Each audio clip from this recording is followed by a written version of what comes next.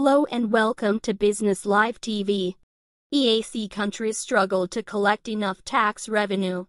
East African Community EAC member states are struggling to collect enough tax revenue to support public services. Only Rwanda, with a tax to GDP ratio of 15, has reached the World Bank's recommended threshold.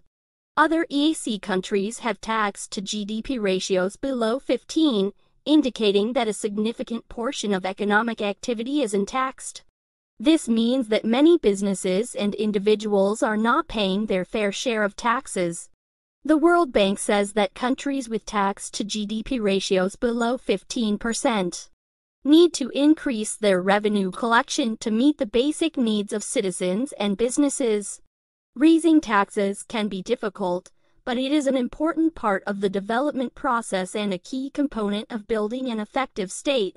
Rwanda is the only EAC country that has reached the World Bank's recommended tax to GDP ratio.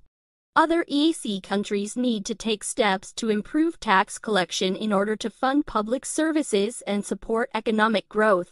Some possible solutions include investing in digital tax administration systems, reducing tax exemptions, and improving tea. Thanks for watching.